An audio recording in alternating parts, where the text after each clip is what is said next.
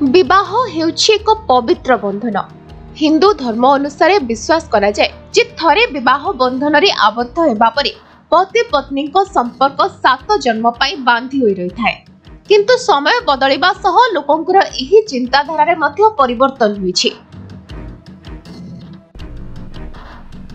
ଆଜିକାଲି ଅଧିକାଂଶ ଦମ୍ପତି ବିବାହର କିଛି ବର୍ଷ ପରେ କୌଣସି ନା କୌଣସି କଥାକୁ ନେଇ ଅଲଗା ହୋଇଯାଉଛନ୍ତି। ସାତ ଜନ୍ମ କଣ?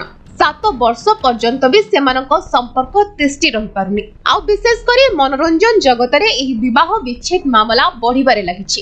ସେ ବଲିଉଡ ହେଉ କି କ୍ରିକେଟ ସେଲିବ୍ରିଟି କପଲ ମାନଙ୍କ ଭିତରେ ମତଭେଦ ପାଇଁ ସେମାନେ ସବୁବେଳେ ଚର୍ଚ୍ଚାରେ ରହିଥାନ୍ତି।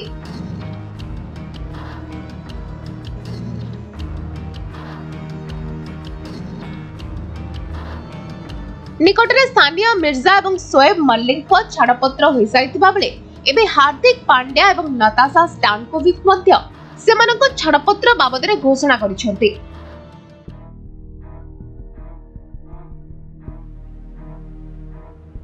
ସେପରି ବଲିଉଡର ସବୁଠୁ ଚର୍ଚ୍ଚିତ କପଲ ଅଭିଷେକ ବଚ୍ଚନ ଏବଂ ଐଶ୍ୱର୍ଯ୍ୟା ରାୟଙ୍କ ମଧ୍ୟରେ କିଛି ଠିକ୍ ଚାଲିନଥିବା ଶୁଣିବାକୁ ମିଳୁଛି।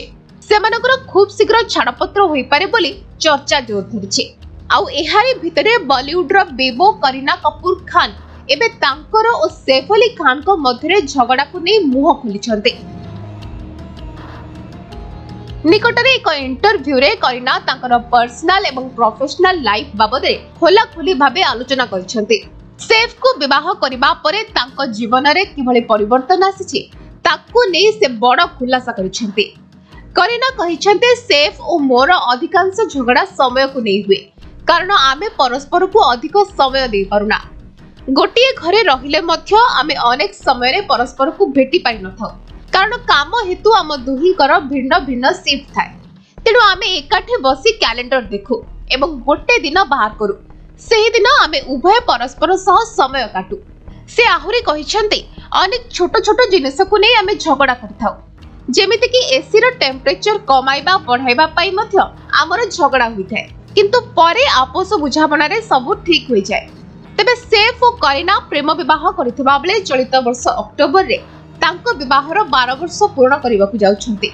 ଉଭୟଙ୍କର ଦୁଇଟି ସନ୍ତାନ ରହିଥିବା ବେଳେ ଉଭୟ ଖୁସିରେ ନିଜର ଦାମ୍ପତ୍ୟ ଜୀବନ ବିତାଉଛନ୍ତି। Bureau report Samay live.